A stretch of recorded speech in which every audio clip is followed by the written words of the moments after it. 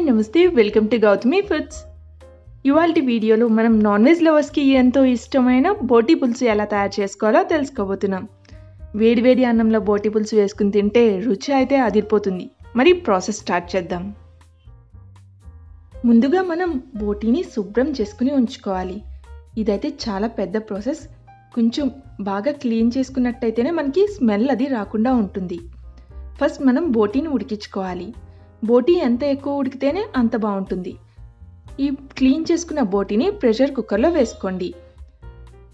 ఇందులోనే కొంచెం పసుపు ఉప్పు అలాగే వెనిగర్ వేసుకుంటే స్మెల్ కూడా తగ్గుతుంది. అలాగే కొద్దిగా వాటర్ వేసుకుని బోటీ ఉడికే అంతవరకు ఉడికించుకోవాలి. బోటీ ఉడకడానికి మినిమం సిక్స్ విజిల్స్ అయితే మాకు పట్టింది. బోటీని మీడియం ఫ్లేమ్లో ఉడికించుకున్నాము. బోటీ అయితే మనకి పర్ఫెక్ట్గా ఉడికిపోయింది. ఉడకకపోతే మనకి మింగడానికి కష్టంగా ఉంటుంది కాబట్టి ఈ విధంగా మెత్తగా బాగా ఉడికించుకోవాలి. సో మనకి బోటి ఉడికిపోయింది కాబట్టి బోటి పులుసు ఎలా తయారు చేసుకోవాలో తెలుసుకుందాం. ముందుగా ప్యాన్ పెట్టుకుని ప్యాన్లో తగినంత ఆయిల్ వేసుకోండి. ఆయిల్ వేడెక్కిన తర్వాత ఉల్లిపాయ ముక్కలు వేసుకోవాలి. నేనైతే రెండు మీడియం సైజ్ ఉల్లిపాయల్ని ముక్కలు చేసుకుని వేసుకున్నాము. ఉల్లిపాయలు బాగా మగ్గిన తర్వాత దీంట్లో ఒక టీ స్పూన్ అల్లం వెల్లుల్లి పేస్ట్ వేసుకోవాలి. అల్లం వెల్లుల్లి పేస్ట్ పచ్చివాసన పోయేంత వరకు ఫ్రై చేసుకోండి. తగినంత ఉప్పు వేసుకోవాలి. అలాగే కొద్దిగా పసుపు కూడా వేసుకోండి. ఇందులో టమాటా కూడా ముక్కలు వేసుకోండి. ఒక టమాటాని ముక్కలుగా చేసి వేస్తున్నాం. టమాటా కూడా బాగా మగ్గేలా మగ్గించుకోవాలి.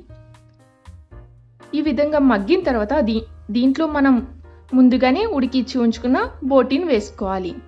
ఒక రెండు నిమిషాలు అలాగా కలుపుతూ ఉండండి. తర్వాత దీంట్లో రెండున్నర టీ స్పూన్ల వరకు కారం వేసుకోవాలి.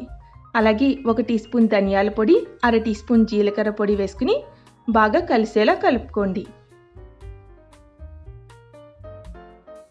ఈ విధంగా కలుపుకున్న తర్వాత దీంట్లో మనం చింతపండు రసం వేసుకోవాలి.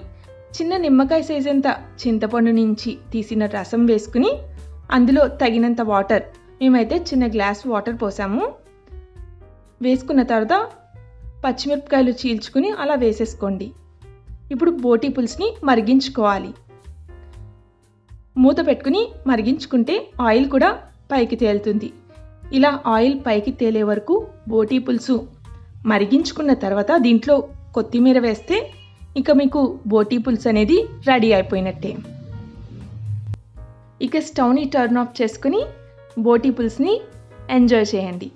మరి మీకు ఈ వీడియో నచ్చినట్టయితే మా ఛానల్ని సబ్స్క్రైబ్ చేసుకోండి అలాగే ఈ వీడియో లైక్ చేయడం మాత్రం మర్చిపోకండి. Thanks for watching